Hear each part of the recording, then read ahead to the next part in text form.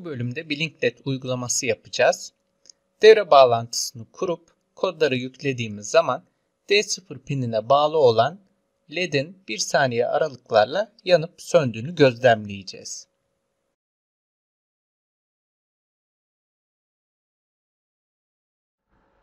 Merhabalar. Bu uygulamada deney yap kartla Blinklet uygulaması yapacağız. Deney yap kartı doğrudan kullanabileceğimiz gibi yani komponentlerle birlikte kullanabileceğimiz gibi breadboard kullanmak bizim işimizi daha da kolaylaştıracaktır. Daha önceden Arduino kullandıysanız Arduino ile breadboard'un birbirinden bağımsız olarak bağlanması gerekiyordu. Yani Arduino üzerinde dişi pinler vardı. Yine breadboard üzerinde dişi pinler vardı. Arduino'yu getirip breadboard'un üzerine yerleştiremiyorduk.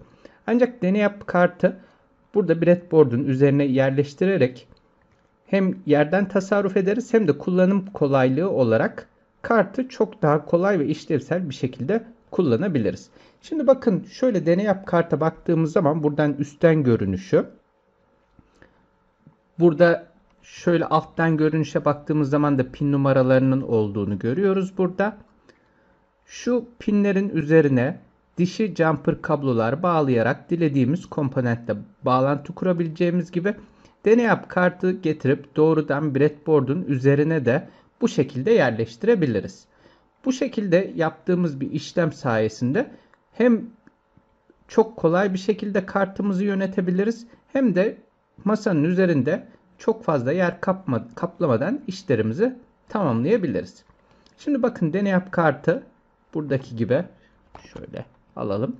Getirip breadboard'un üzerine yerleştiriyoruz. Tabi istediğimiz yere yerleştirebiliriz ama dikkat etmemiz gereken nokta bakın üstte bir sıra boşluk kaldı. Yine alt tarafta da bir sıra boşluk kaldı.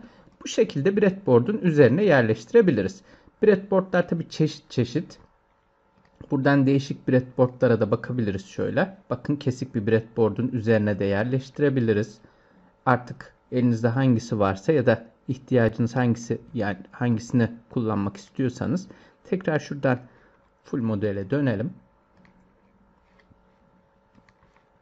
Şimdi burada LED uygulaması yapacağız. Belirlediğimiz süre aralıklarında LED'in yanıp sönmesini sağlayacağız. Bunu yaparken bakın şurada breadboard'da istediğimiz yeri kullanabiliriz. LED'in bakın şurada kıvrık ve uzun olan bacağı var. Bunun üzerine geldiğim zaman şöyle bunun anot olduğunu, diğer bacağın ise katot olduğunu söylüyor. Anot dediğimiz bacak deneyap kartın dijital pinlerini bağlayacağımız bacak. Diğer katot bacağı da deneyap kart üzerindeki GND pinine bağlayacağımız bacak olacak. Bunu breadboard üzerinde istediğimiz yere yerleştirebiliriz. Bakın breadboard'da her şöyle baktığımız zaman dik sıranın birbiriyle bağlantılı olduğunu görüyoruz.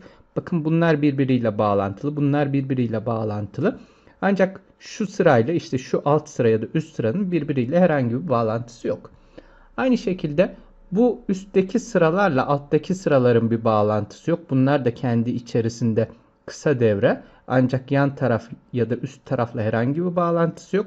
Bakın burada da ortak pinler var. Bunlar ne için derseniz. Diyelim ki deney yap kartın üzerinde işte şöyle bir şeye bakalım pin diyagramına.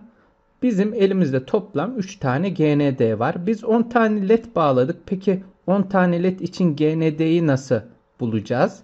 İşte burada bir tane GND'den şuraya atlama yaparak bakın şöyle bunun rengini de siyah yapalım. Elimizde siyah şu sıra komple yaklaşık 30-40 tane pin komple GND pinine dönüşmüş oldu. Aynı şekilde 3.3 volttan da ya da 5 volttan da çok fazla ihtiyaç duyarsak çünkü bizim elimizdeki deney yapın işte iki tane 3.3'ü bir tane de 5 voltluk pini olduğu için bunlar bazı dönemlerde yetersiz kalacaktır. İşte bu gibi durumlarda buradaki pinlerden çoğaltma işlemi yaparak dilediğimiz gibi kullanabiliriz. Şimdi bakın LED'i breadboard üzerinde istediğimiz bir yere yerleştiriyoruz. Breadboard bizim lehim yapmadan devre bağlantılarını kolay bir şekilde kurmamızı sağlayacak. Getirdik şöyle alt tarafta istediğimiz bir yere yerleştirdik.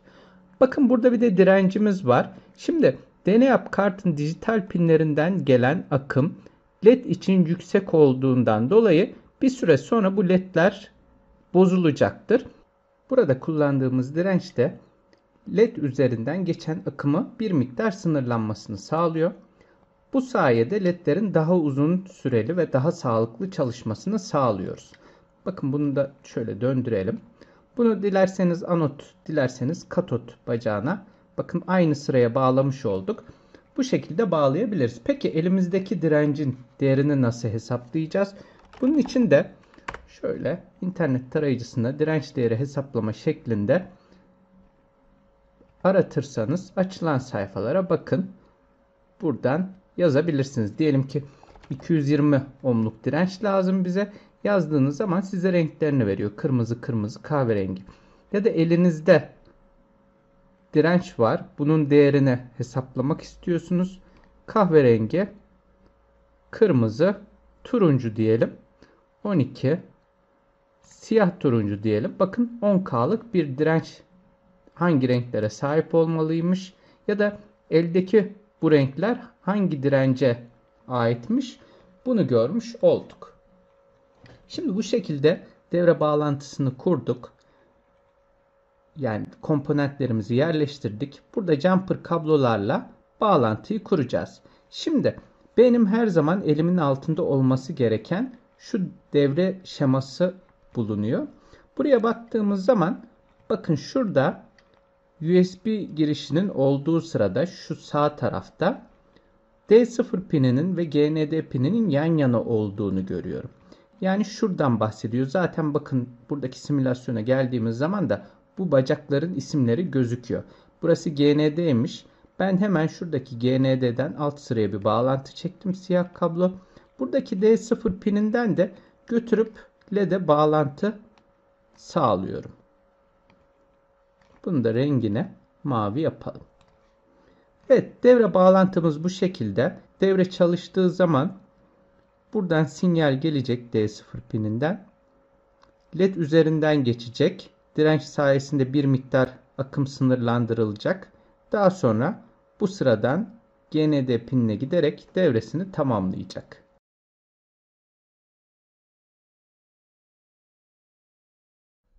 Devre bağlantısı kurarken deneyap kartın bakın enerjisinin bağlı olmadığını kontrol ediyoruz. Neden?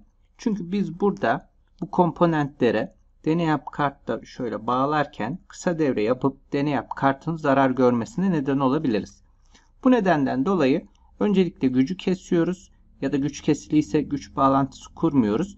Daha sonra devremizi kurup kodları yazıp ardından devre bağlantısını bilgisayarla kurup daha doğrusu deneyap kartı bilgisayara bağlayıp kodları bu şekilde yüklüyoruz. Ne demiştik? LED'imizin uzun bacağı artı anot, kısa bacağı katottu. Artı bacağı şu üst sıradan istediğim herhangi birisine şöyle batırıyorum. Yine alt sıra için de katot bacağını istediğim bir pine şu şekilde batırdım breadboard üzerinde. Burada elimde iki tane direnç var. Birisi 220 ohm. Biz zaten simülasyon üzerinde de 220 ohmluk direnç kullanmıştık. Yine 10K'lık direnç var burada. Şayet bunu kullanırsak devre üzerinden geçen akım çok düşeceği için ledin parlaklığı düşecektir. Ben 220 ohmluk direnci kullanıyorum. Bakın şöyle bu eksi bacağın olduğu sırayla alt taraftaki ortak pinlerin olduğu yere şöyle batırıp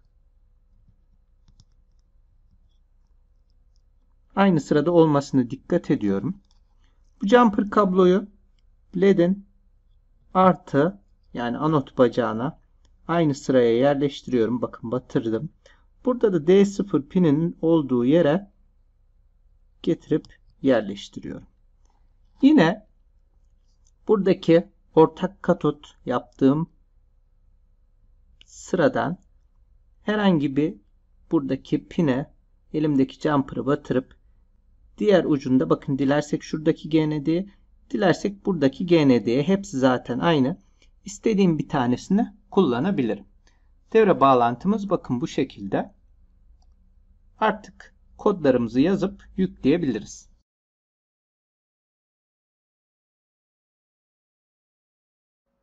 Şimdi deney yap blokla kodlarımızı oluşturacağız. Bunun için deneyap sekmesine girip hatırlarsanız önce kütüphane yüklememiz gerekiyordu. Şunu ortalayalım. Sonra buradan şu kurulum ve döngü bloklarının buraya sürüklenmesi gerekiyordu.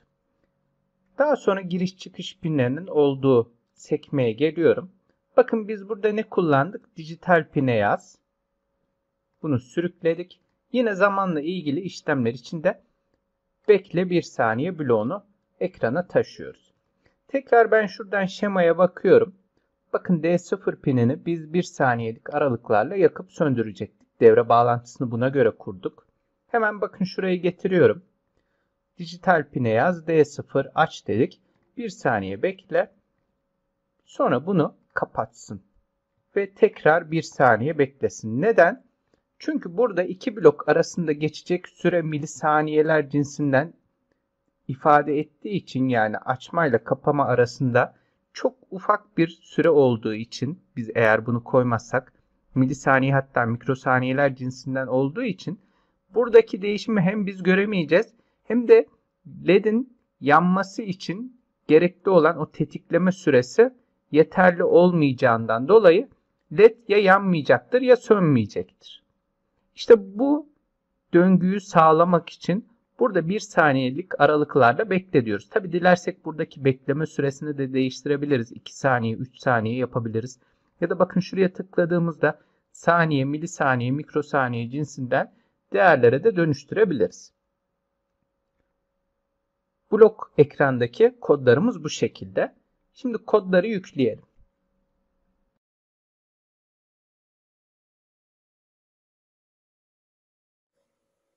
Evet devre bağlantısını kurduk. Kodlarımızı da yazdık. Şimdi kodların yüklenme işlemi kaldı geriye. Bunun için deney kartla bilgisayar bağlantısını sağlıyoruz. Bakın COM6 portundan deney kart gö görüldü. Buradan kodları yükle diyorum. Kodlar derlenip 1 dakika içerisinde kartın içine yüklenecek.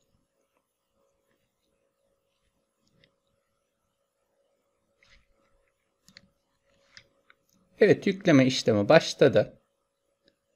Şimdi bizim devreden beklediğimiz 1 saniye aralıklarla ledin yanıp sönmesi olacak. Baktığımız zaman ledin 1 saniye aralıklarla yanıp söndüğünü görüyoruz.